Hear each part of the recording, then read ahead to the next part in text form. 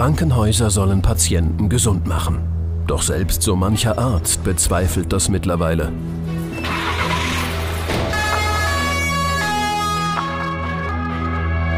Das Patientenwohl im Moment ist massiv gefährdet. Krankenhäuser, ein Riesengeschäft. Knapp 67 Milliarden Euro gaben die Kassen 2011 für Krankenhausbehandlungen aus. Haben die Ärzte Ihnen irgendwie Hoffnung gemacht, dass Ihr Mann durch die Operation länger leben kann? Nee. Und trotzdem haben Sie operiert? Ja. Wann rechnet sich ein Patient für eine Klinik? Muss ich heute Angst haben, in die Wirtschaftsmaschine Krankenhaus zu geraten? Das System an sich ist auf Gewinnmaximierung angelegt und darauf, mit dem Patienten Geld zu verdienen. ZDF Zoom fragt, geht es noch um den Patienten oder nur noch ums Geld?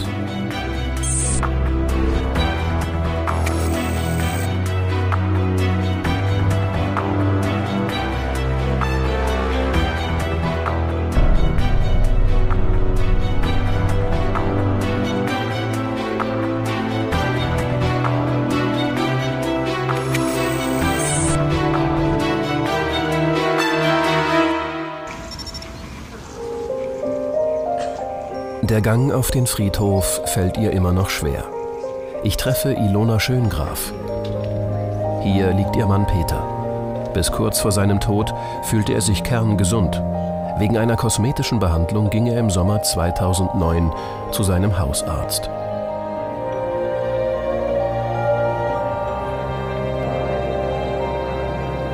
Er sollte ja äh, sich den Bauchnabel machen lassen, weil er einen Nabelbruch hatte. Und da er in, in der Sauna gearbeitet hat, gesagt, lass das mal machen. Doch dem Hausarzt fällt bei der Untersuchung etwas auf. Er überweist ihn an das Waldkrankenhaus Spandau. Die Diagnose dort Bauchspeicheldrüsenkrebs, ein Todesurteil. Der Arzt, äh, da war ich bei. Und zwar, der hat gesagt, also entweder Operation und eine leichtere Chemo oder eine ganz schwere Chemo. Komplizierte Behandlungen, aufwendig und riskant. Und Peter Schöngraf hat ohnehin nur noch wenige Monate zu leben. Zum Zeitpunkt der Diagnose hatte er noch keine Schmerzen. Haben die Ärzte Ihnen irgendwie Hoffnung gemacht, dass Ihr Mann durch die Operation länger leben kann? Nee, nein. Und trotzdem haben Sie operiert? Ja. Haben die Ärzte Ihnen irgendwie vorgeschlagen, dass man vielleicht gar nichts macht, sondern einfach nur Schmerzmittel gibt und Ihren Mann die letzten Monate in Ruhe lässt? Nee, also das gar nicht mal. Also hinterher habe ich es mir auch gesagt und habe gesagt, oh Gott, warum ist man nicht auf so eine Idee bloß gekommen? Aber ganz ehrlich, ich glaube, wir waren da beide ein bisschen überfordert. Das Vertrauen lag ja einfach bei uns vollkommen in den Ärzten. Mhm. Die müssen mir ja sagen, was zu machen ist. Ja, ich bin ja in der Beziehung ein kleiner Knopf, habe ja davon keine Ahnung, was da zu machen ist. Kurz nach der Operation kommt es zu Komplikationen. Peter Schöngraf muss nochmal operiert werden, dabei stirbt er. 14 Tage nach der Diagnose. Frau Schöngraf will den Tod ihres Mannes nicht so hinnehmen, will wissen, was passiert ist. Sie wendet sich an Rechtsanwalt Joachim Laux. Er hat hunderte Patienten beraten. Hallo, Herr Laux. Guten Tag. Was ist denn jetzt bei Herrn Schöngraf eigentlich schiefgelaufen? Es gibt ein Sachverständigengutachten, was eindeutig ähm, die fehlende Indikation für den Eingriff feststellt. Das heißt, ähm, feststellt, dass man diesen Eingriff unter keinem sinnvollen medizinischen Gesichtspunkt durchführen durfte. Wie kann denn das sein, dass jemand, der todkrank ist und im Grunde, wo klar ist, der wird bald sterben, dass der noch operiert wird? Wir vermuten dahinter ökonomische Interessen. Es geht darum, einen Eingriff vorzunehmen, der entsprechend bezahlt wird. Das System an sich ist auf Gewinnmaximierung angelegt und darauf, mit dem Patienten Geld zu verdienen. Laut Gutachten der ärztlichen Schlichtungsstelle gab es keinen medizinischen Grund zu operieren. Frau Schöngraf bekommt 16.000 Euro Schmerzensgeld. Den Vorwurf, mit einer unnötigen Operation Geld verdient zu haben, weist der Träger der Klinik jedoch zurück. Der Vorwurf, es hätte eine Entscheidung aus wirtschaftlichen Gründen gegeben, ist hier nicht zutreffend. Bei einer Entscheidung gegen die Operation wäre in jedem Fall eine aufwendige Behandlung erforderlich gewesen, die unter Umständen auch teurer als eine operative Therapie geworden wäre. Trotzdem, Rechtsanwalt Laux hat jedes Jahr Dutzende neue Fälle bundesweit. Was für einen Trend beobachten Sie da in den letzten Jahren? Wir beobachten einen Trend zu Eingriffen, das heißt also ähm, Behandlungen vorzunehmen, die über das Fallpauschalensystem vergütet werden, weil der Eingriff honoriert wird und weniger ähm, die begleitende Behandlung oder die Beratung. Operieren ohne medizinische Notwendigkeit. Nach unseren Recherchen ein zunehmendes Problem. Schuld daran, sagen Kritiker, sei das Fallpauschalensystem. Medizincontroller Hubert Greif soll mir das Fallpauschalensystem genauer erklären. Sein täglicher Job? Patientenschicksale in Geld umrechnen. Wie funktionieren jetzt diese Fallpauschalen eigentlich? Die Fallpauschalen wir werden wie folgt ermittelt äh, über das Geschlecht und das Alter des Patienten und den Diagnosen, mhm. die der Behandlerarzt festgestellt hat und auch den durchgeführten Therapien, sprich ähm, Operationen, wird dann die Fallpauschale in, einem, äh, in einer EDV-Software auch ermittelt und am Ende dann auch abgerechnet. Mhm. Können Sie mir das mal zeigen, wie man so eine ja, Fallpauschale zeige ich Ihnen sehr gerne. Ja. Greif gibt Geschlecht, Alter und die Diagnose Blinddarmentzündung in die Software ein. Als Behandlung gibt er die Standard-OP Blinddarmentfernung an. Am Ende steht ein Code, der wird in Geld umgerechnet. Das heißt, ich kriege für eine Blinddarm-OP im Schnitt 2.309,46 Euro. Ja. Diese Pauschale ist im Allgemeinen kostendeckend, wenn der Patient höchstens sechs Tage bleibt. Das Krankenhaus macht ein Plus, wenn der Patient früher nach Hause geschickt wird. Ich will wissen, was eine Klinik für eine Bauchspeicheldrüsenoperation wie bei Peter Schöngraf abrechnen könnte. Herr Greif rechnet vor. Für eine solche Operation kann eine Klinik ca. 7.300 Euro bekommen. Eine knapp zweiwöchige Behandlung mit Schmerzmitteln hätte ca. 3.125 Euro gebracht. Differenz 4.175 Euro. Ob zwei Wochen Schmerztherapie in diesem Fall ausgereicht hätten, im Nachhinein schwer zu sagen. Fakt ist, Krankenhäuser haben immer mehr zu tun. Seit Jahren steigt die Zahl der stationären Behandlungen. Mit der alternden Gesellschaft ist das allein nicht mehr zu erklären. Der AOK Krankenhausreport 2013 benennt als wesentliche Ursache Anreize des bestehenden Vergütungssystems. Die Krankenkassen sehen die Fallpauschalen inzwischen durchaus kritisch. Dabei hatten sie die Einführung vor zehn Jahren mitbetrieben. Das Ziel? Die Kassen wollten wissen, für was sie bezahlen. Heute müssen die gesetzlichen Kassen feststellen, es wird zu viel behandelt in Krankenhäusern. Es ist so, dass ähm, dieses Phänomen der Mengenmachung, also dass ein Arzt, ein Krankenhaus auf Menge geht, das haben wir auch festgestellt. Das hat die DRG, also die Fallpauschalen Begleitforschung, festgestellt. Und da müssen wir genau hingucken, woran liegt das? Ist das ein Problem des Abrechnungssystems oder ist es zum Beispiel ein Problem, dass eben es bestimmte Art von Verträgen gibt, die eine bestimmte Menge für Ärzte vorsehen? Nur genau da kommen wir dann ans Informationsproblem. Wir können mit der Forschung gucken, stimmt das Fallpauschalensystem in dem Punkt. Wir können aber natürlich nicht gucken, wie sehen die Arztverträge aus von bestimmten Kliniken. Solche Arztverträge bekomme ich von einem Informanten. Die meisten Kliniken in Deutschland schließen mittlerweile Zielvereinbarungen ab. Einem Arzt winkt dann mehr Geld, wenn er mehr operiert und behandelt. In einem Vertrag heißt es, die Unterzeichner seien sich einig, dass die Ziele vom Arbeitnehmer beeinflussbar, zumutbar und erreichbar sind. Laut dieser Abrechnung erhielt ein Arzt 40.000 Euro Bonus, unter anderem für 50 Knie- und 80 Wirbelsäulen-OPs. Ein Anreiz, mehr zu behandeln als unbedingt nötig? Wurde auch er operiert, weil es lukrativ für den Arzt war? Reinhold Stefani hatte zwei Bandscheibenvorfälle.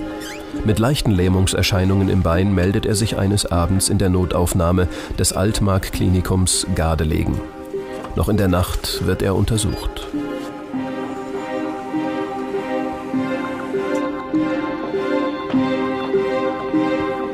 Was hat der Arzt Ihnen am anderen Morgen gesagt? Der Arzt kam dann morgens früh rein und sagte gleich, Herr Schwani, Sie werden heute noch operiert. Und was dachten Sie da? Ich denke, oh, heute geht aber schnell hier. Ich denke, na, du warst nie im Krankenhaus. Ich hoffe, dass die machen alles richtig und die werden dich dann schon wieder auf die Beine bringen. Und dann ging es dann ruckzuck. Hat man Ihnen irgendwie alternative Behandlungsmöglichkeiten angeboten? Da wurde mir gar nichts angeboten. Es hieß nur OP und fertig. Ich habe mir mit dem Arzt vielleicht, ach nicht mal fünf Minuten unterhalten. Und das war's. Ich habe ja den Ärzten vertraut. Eine komplizierte Rückenoperation ohne Alternativen genannt zu bekommen? Reinhold Stefani hatte kaum Bedenkzeit. Als seine Frau am anderen Morgen um 11 Uhr anruft, ist er schon fertig gemacht für den OP-Saal. Die Zahl der Wirbelsäulenoperationen hat sich seit 2005 bei AOK-Versicherten mehr als verdoppelt. Die Techniker Krankenkasse gibt an, 85 Prozent der von ihr bezahlten Wirbelsäulen-OPs sind unnötig. Die Stefanis fühlten sich von der Maschinerie Krankenhaus überrumpelt.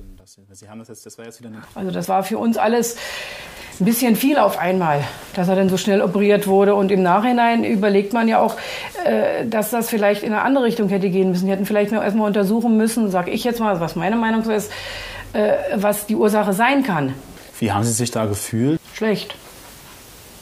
Sehr schlecht. Ich fühle mich auch heute noch sehr schlecht muss ich darüber da, dazu sagen, weil das Ganze ist ja ein großer Einschnitt für ihn, nicht, nicht nur für ihn, sondern für die ganze Familie. Früher war Reinhold Stefani ein aktiver Mann. Freiwillige Feuerwehr, Fußballverein, Reiten. Nach der OP wurde sein Leiden immer schlimmer. Er wurde nochmal operiert, wechselte das Krankenhaus. Ob die erste Operation schuld daran ist, dass er heute im Rollstuhl sitzt, kann er nicht sagen. Mit Hilfe eines Rechtsanwalts will er diese Frage klären. Ich fahre zu der Klinik, in der er zuerst operiert wurde, nach Gardelegen bei Magdeburg. Dort operiert seit 2011 ein neuer Arzt. Sein Spezialgebiet Wirbelsäulenoperationen. Seitdem stieg der Umsatz der Klinik gut 1,6 Millionen Euro mehr in der Chirurgie von 2011 auf 2012. Ein Plus von über 40 Prozent. Ich versuche mit den Verantwortlichen zu reden. Das Klinikmanagement verweigert uns jegliche Auskunft, verweist auf die laufenden Ermittlungen der Staatsanwaltschaft gegen den Arzt. Ein anderer Arzt der Klinik dagegen will mit uns reden allerdings nur im Beisein seines Anwaltes. Bis zum Sommer war Dr. Falkenberg Chefarzt der Chirurgie. Er hatte zusammen mit fünf weiteren Ärzten einen Brandbrief erst an die Klinikleitung und dann an den Aufsichtsrat geschrieben. Die Operationen und Abrechnungen des Kollegen kamen ihnen verdächtig vor. In einer Vielzahl von Fällen sind Patienten unnötigerweise Operationen unterzogen und die betroffenen Patienten über die Möglichkeiten konservativer Behandlungen nicht oder nur unzureichend aufgeklärt worden. Warum haben Sie mit Ihren Kollegen zusammen diesen Brief geschrieben an die Klinikleitung? Wir haben vor einem Jahr uns an die Geschäftsführung des Altmark-Klinikums gewandt, weil wir in großer Sorge waren um unsere Patienten. Und dies hat leider nicht gefruchtet. Und dann haben wir uns mit dem Brief an den Aufsichtsratsvorsitzenden gewandt, um hier eine Klärung herbeizuführen. Haben Sie konkrete Anhaltspunkte für Körperverletzungen oder Falschabrechnungen? Diese Frage würde ich gerne antworten, kann ich aber aus rechtlichen Gründen nicht. Ich könnte das gegenüber der Staatsanwaltschaft tun, die hat mich aber leider noch nicht befragt. Mir sind Patientendaten äh, zugegangen, äh, anonym, aus denen sich entnehmen ließ, nachdem sie ärztlich geprüft worden sind, dass Patienten behandelt wurden ohne medizinische Indikation, das heißt also ohne Grund, oder aber dass auch Abrechnungsbetrügereien vorliegen konnten. Schwere Vorwürfe, die von der Staatsanwaltschaft geprüft werden. Der Spezialist praktizierte offenbar noch Monate weiter. Dr. Falkenberg dagegen wurde gekündigt. Einer der Vorwürfe, er hätte zu wenig Umsatz gemacht, nicht genug operiert.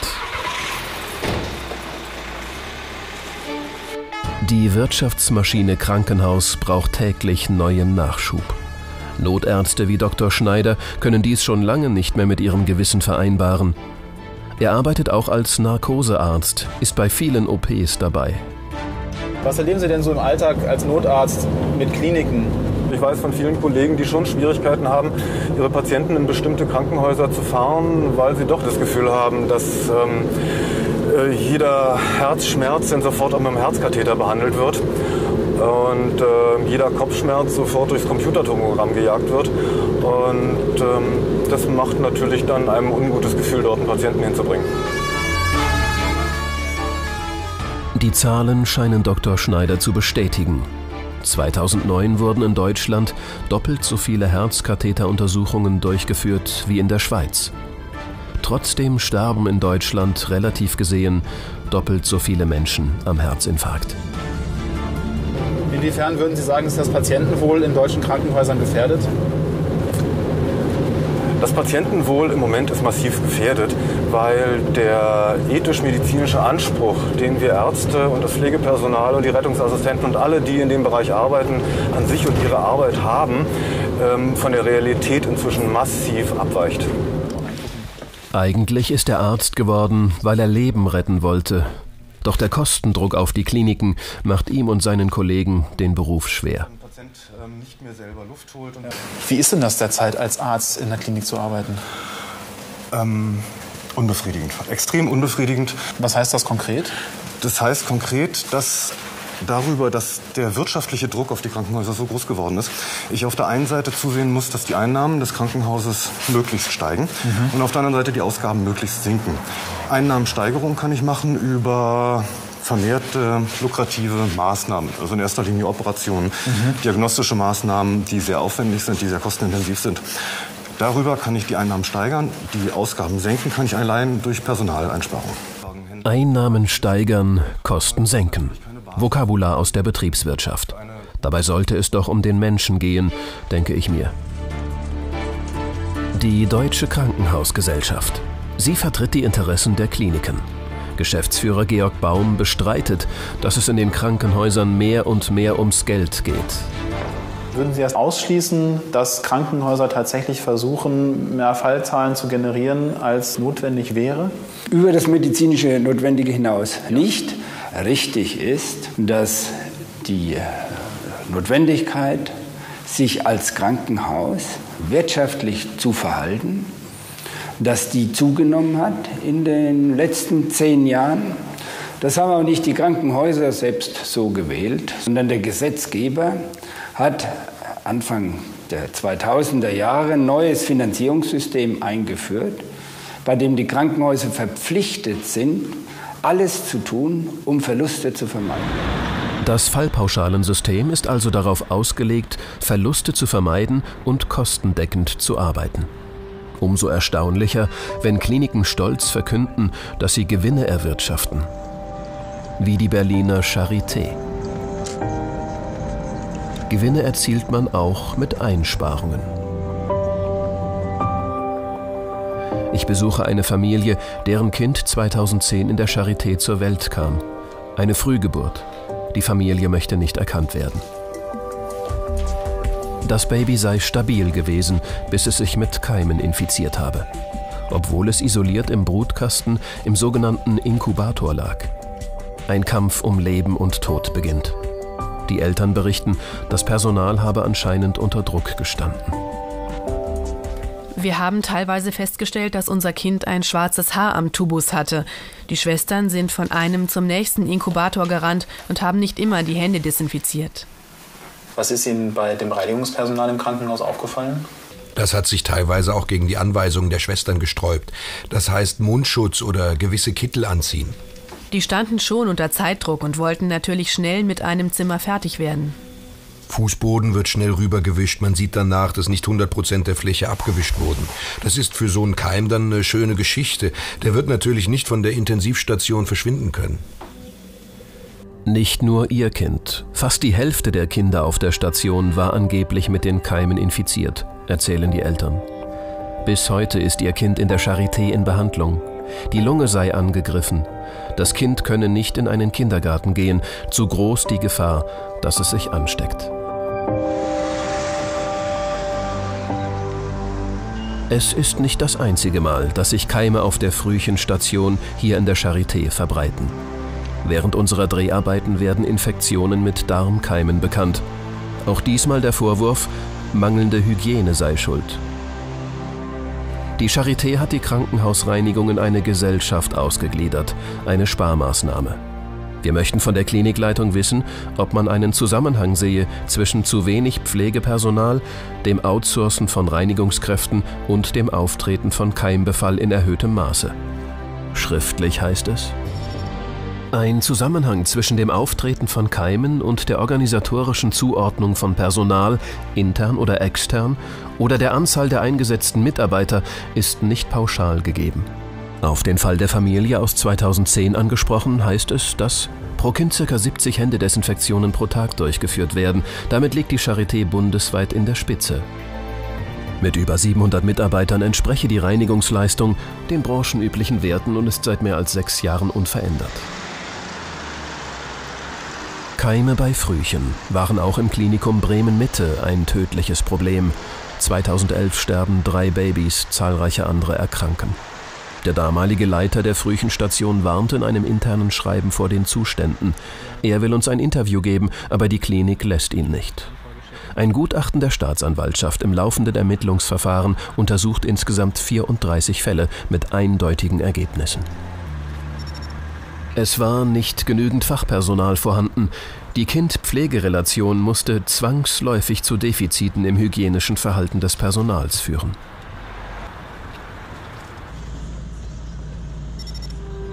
Hier im Vivantes Klinikum Spandau besuche ich einen Hygienefachmann.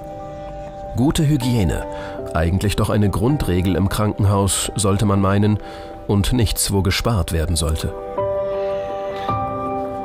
Klaus-Dieter Zastrow hat die Keimskandale von Bremen und Berlin aufmerksam verfolgt. Wenn Keime von einem Brutkasten zum nächsten wandern, sei das ein Alarmzeichen für die hygienischen Zustände. Sehen Sie da einen Zusammenhang zu Sparmaßnahmen? Die Sparmaßnahmen können auch hier wieder eine Rolle spielen, wenn man zu wenig Personal hat. Dann kann es auch hier wieder dazu kommen, dass Maßnahmen nicht durchgeführt werden. Dass ein und derselbe Kittel getragen wird, dass äh, der, der Mund-Nasenschutz gar nicht getragen wird, äh, dass mal schnell rübergegriffen wird auf den anderen Inkubator und man kontaminiert äh, äh dann den nächsten Bereich und von dort aus kann es dann weitergehen. Warum wird so am Personal gespart? Na, nun, in erster Linie ist das natürlich ein finanzieller Grund, äh, dass man versucht, mit so wenig wie möglich Personal, wie es so schön heißt, wirtschaftlich oder auch gewinnbringend zu arbeiten. Sparen am Personal auf Kosten der Patienten? Gesundheitsmesse Medica. Als ich in die Hallen komme, wird klar, immer mehr Technik, immer teurere Technik. Gerätemedizin wird im Fallpauschalensystem gut bezahlt. Egal ob die Klinik privat, kirchlich oder kommunal ist. Die Hightech-Maschinen sind immense Investitionen. Da muss wohl an anderer Stelle eingespart werden. Wo? Das erlebt Ulrike Werder täglich. Sie ist Honorarkrankenschwester für Intensivmedizin, füllt die Lücken in den Dienstplänen verschiedener Krankenhäuser. Was heißt das für den Patienten? Also was bedeutet das für die? Dass man wenig Zeit für die hat, ja. Dass sie sehr oft alleingelassen sind mit ihrer Angst, mit ihren manchmal auch Schmerzen, die sie eigentlich gar nicht haben dürfen, wenn sie richtig äh, behandelt werden. Oft genug habe ich, wenn ich von der Arbeit komme, ein schlechtes Gefühl, dass ich eben nicht alles gemacht habe, was für den Patienten besser gewesen wäre. Personalkosten sind der größte Posten in jedem Krankenhaus. Sie machen durchschnittlich gut 60 Prozent der Ausgaben aus. Deswegen versuchen Kliniken seit langem hier zu sparen und Pflegeprozesse weiter zu straffen. Die Zahl der Pflegekräfte an deutschen Krankenhäusern sinkt seit Jahren.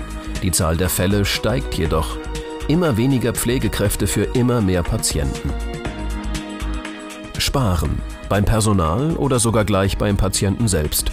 Ein Weg, frisch operierte so schnell wie möglich wieder loswerden.